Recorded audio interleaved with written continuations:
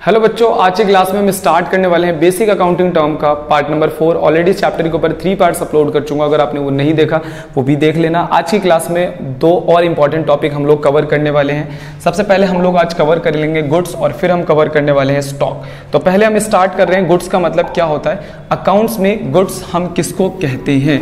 देखो जिस चीज़ के अंदर हमारा बिज़नेस डील करता है सिंपल हम उसको गुड्स कहते हैं। एक ग्रोसरीज वाला डील करता है दाल के अंदर, चावल के अंदर ऑयल के अंदर, मसालों के अंदर चिप्स के अंदर, या फिर कोल्ड ड्रिंक्स वगैरह के अंदर, या मिल्क के अंदर, ये सारा उसका स्टॉक है। लेकिन एक ग्रोसरीज की दुकान वाला, जो जनरल स्टोर की दुकान वाला, उसकी दुकान पे लगा हुआ काउंटर, वो उसका स्टॉक नहीं होता है। उसकी दुकान में लगा हुआ एसी फ़ैन लाइट ये उसका स्टॉक नहीं होता है। सेम ऐसे ही अगर हम जाते हैं किसी होम अप्लाइंसेस की दुकान पर तो होम अप्लाइंसेस के वाला एसी बेच रहा है फ्रिज बेच रहा है प्रेस बेच रहा है, ये सारी चीज़ें बेच रहा है अवन बेच रहा है तो ये सब उसका क्या है? ये सब है उसका स्टॉक लेकिन उसकी दुकान में अगर कोई काउंटर ऐसा है जिसपे वो डील कर रहा है, या चेयर बिछी हुई है जिसपे वो डील कर रहा है कस्टमर्स के साथ वो उसका स्टॉक नहीं है। एक कपड़े वाले की दुकान पे जाते हैं तो जितना भी कपड़ा उसकी दुकान के अंदर है, वो सब जो उसने बेचने के लिए लेकर आया है, वो सब उसका गुड्स है। लेकिन जिस चीज़ के अंदर वो डील नहीं करता जस्ट लाइक उसकी दुकान के अंदर एक वाटर कूलर रखा हुआ है, पानी पीने का, या फ्रिज रखा हुआ है, ठीक है तो वो उसका गुड्स नहीं है। तो गुड्स क्या होते हैं? गुड्स वो होते हैं जिसमें हमारा बिज़नेस सिंपल डील करता है। The product in which are business deal in जिसमें हमारा बिज़नेस डील कर रहा है वो हमारा स्टॉक है। The item that are purchase for the purpose of resale कह रहा है कि वो आइटम जैसे हमने परचेज ही रीसेल के लिए करा है वो हमारा गुड्स होता है ठीक है? Not for use in the business इसे हम बिज़नेस के अंदर यूज़ नहीं करते। इसके अंदर हम बिज़नेस का यूज़ इस, इसको हम बिज़नेस के अंदर यूज़ नहीं करते। जैसे मान लो कोई एसी की दुकान है जहाँ पर एसी बिकता है तो एसी वाला क्या सारे एसी को अपने बिज़नेस के अंदर यूज़ करने लग जाता है? नहीं, बल्कि पैक करके रखता है। जब कस्टमर आते हैं, उन्हें दिखाता है और फिर उनको बेच देता है। फर्नीचर वाला सारे फर्नीचर का यूज़ नहीं करता, जिस, जो उसे बेचना होता है। ठीक है? इसी तरह से जो परचून की दुकान वाला होता है जनरल स्टोर वाला होता है, वो सारी चीज़ों को खुद यूज़ नहीं करता, बल्कि वो क्या करता है? उसे बेचने के लिए रखता है। तो इसका यूज़ हम बिज़नेस के अंदर नहीं करते तो मैंने आप लोगों को बता दिया कि गुड्स कौन से होते हैं? गुड्स वो होते हैं जिसमें जिसमें हमारा बिज़नेस डील करता है और इसे हम खरीदते हैं किस लिए? रीसेल के लिए, ठीक है? और इसका हम बिज़नेस के अंदर यूज़ नहीं करते, इसे हम रीसेल के लिए, खरीद के लिए कराते हैं। जैसे एक ग्रोसरीज की दुकान के लिए सब गुड्स है, ठीक है? तो बच्चों नेक्स्ट वर्ड हम समझने वाले हैं स्टॉक का मतलब क्या था? स्टॉक का सिंपल मतलब स्टॉक को हम लोग इन्वेंट्री भी कहते हैं। Meaning refer to the amount of goods कह रहा है कि ऐसा गुड्स लेइंग जो रखा हुआ है unsold on a particular date किसी कपड़े की दुकान पर आप जाते हो तो कपड़े वाला पहले से ही बहुत सारे कपड़े अपनी दुकान में रखता है और उसी में से आपको दिखाता है जब आप कस्टमर बन के जाते हो तो। इसे हम लोग कहते हैं स्टॉक फर्नीचर की दुकान पर जाते हैं, पहले से बहुत सारा फर्नीचर रखा होता है, जो वो बेचने के लिए रखता है। इसे कहते हैं हम लोग स्टॉक इसी तरीके से होम अप्लायंसेज की दुकान पर जाते हैं तो बहुत सारी चीज़ें उस पर पहले से ही होती है, जो वो बेचता है, उसे हम लोग कह देते हैं स्टॉक स्टॉक का मतलब आप जिस चीज़ में डील करते हो उसका बहुत सारा पार्ट आप रखते हो, ताकि कस्टमर आए तो आप उसको हैंड टू हैंड बेच सको। इसे हम लोग कहते हैं स्टॉक क्लियर हो गया?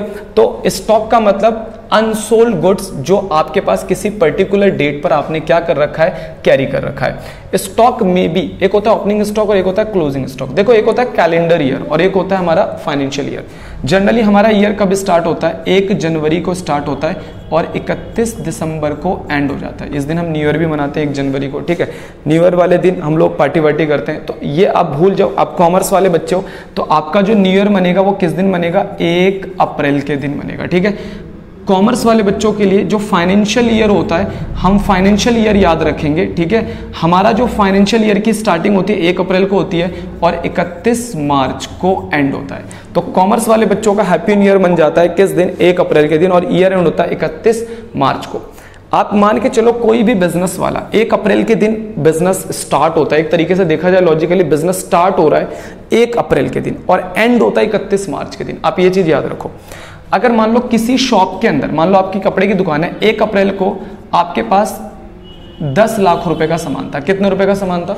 दस लाख रुपए का सामान था। तो एक अप्रैल के दिन आपकी दुकान में जितने का सामान था, यानी जितने का स्टॉक है, जितने का गुड्स है, इसे कहते हैं ओपनिंग स्टॉक।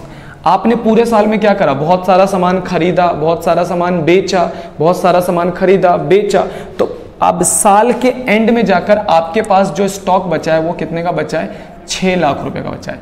तो साल के पहले दिन जो स्टॉक होता है ओपनिंग स्टॉक और साल के एंड वाले दिन जो स्टॉक होता है, वो क्लोजिंग स्टॉक तो एक अप्रैल को जो स्टॉक होता है, उसे कहते हैं ओपनिंग स्टॉक और इकतीस मार्च को जो स्टॉक होता है, उसे हम लोग क्या कहते हैं? Closing stock opening stock refer to the amount of unsold goods कह रहा है कि एक ऐसा अनसोल्ड गुड्स जो beginning of the financial year financial year कब होता है? एक अप्रैल से इकतीस मार्च। यानी एक अप्रैल को, यानी beginning of the financial year एक अप्रैल होता है। एक अप्रैल को जितना भी स्टॉक आपके पास होता है, उसे ओपनिंग स्टॉक और 31 मार्च के दिन, यानी कि end of the financial year आपके पास जो भी अनसोल्ड गुड्स होता है, उसको हम लोग कहते हैं क्लोजिंग स्टॉक इतनी बात आपको समझ में आ गई होगी कि स्टॉक में।